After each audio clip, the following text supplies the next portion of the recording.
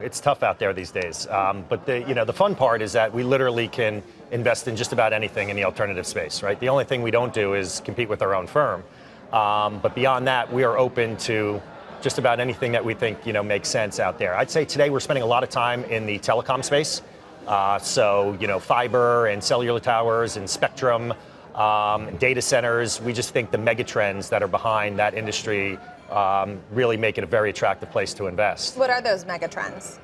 How many phones do you have? How much data do you consume per day? And how much is that not just proliferating um, per person, but if you think about the penetration rates all across the globe, people who couldn't communicate in certain ways before are now getting movies downloaded to their phone in areas that they couldn't even get a phone call, you know, five, ten years ago. So we just see just massive data proliferation everywhere. We don't see any signs of that slowing at all. And so the ability to be able to invest um, all across the globe, actually, um, and in places that we see even higher growth rates. A lot of times you see um, economies, right, where they're getting much more going in towards the middle class. And what are those folks doing? They're communicating more, they're consuming media differently, and um, we're very excited to continue to, to invest in that space. Now, you've you've self-described this job as trying to explore and invest in some of the craziest ideas out there. What's the craziest one that you've actually put money to work in? You know, it's funny. I, I made that comment. I don't know a lot of years ago because I was I was trying to make the point that we'll invest in anything. We're very open-minded. The only negative point about that is you can imagine how many phone calls I get with the most bizarre you know, sort of investment ideas that I've ever heard, and I have to politely say, well, you know, yes, I'm very open-minded, but I don't really think that's going to work for us. But I mean, literally, I've been pitched everything from, you know, figuring out how to get, uh, you know, sheep to produce you know, their goods in a different way, like literally like the wool off the sheep. And I'm like, okay, I don't really understand how to deal with that. Um, to people who have invented things and say, well, can't you back me? I've got this great new invention that I've just come up with.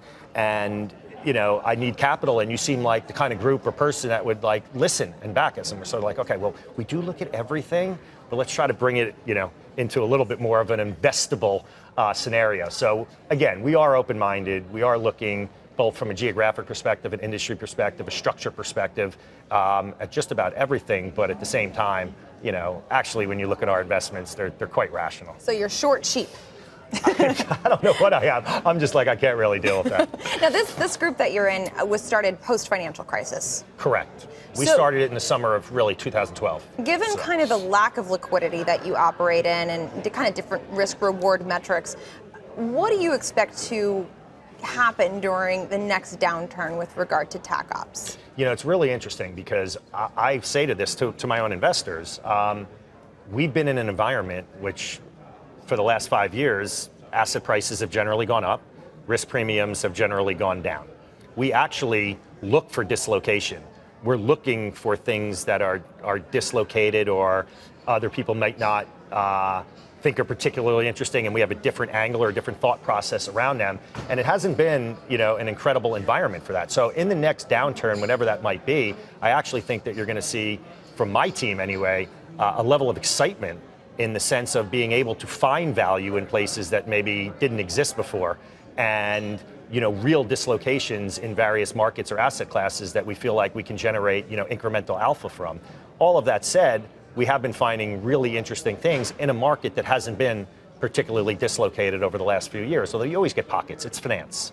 There's there's pockets of dislocation all the time. You know, I use as an example to folks. Right now, the energy space is booming, but it wasn't that long ago when we had oil in the 20s and you had huge dislocation towards the back end of 15 into 16 in terms of the most recent example of that.